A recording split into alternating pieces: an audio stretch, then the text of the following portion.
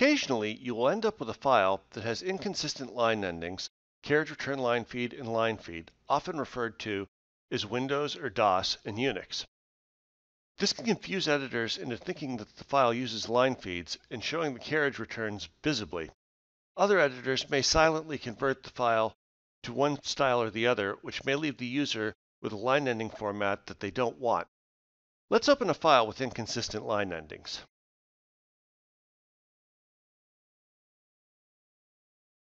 SlickEdit detects the inconsistent line endings, shows you how many of each type of line ending are in the file, and then prompts you to convert it to one style or the other.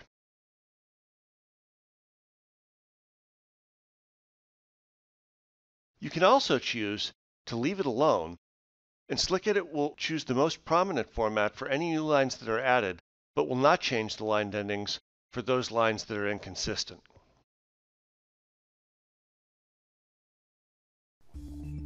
Download your free trial today. Go to www.slickedit.com/trial.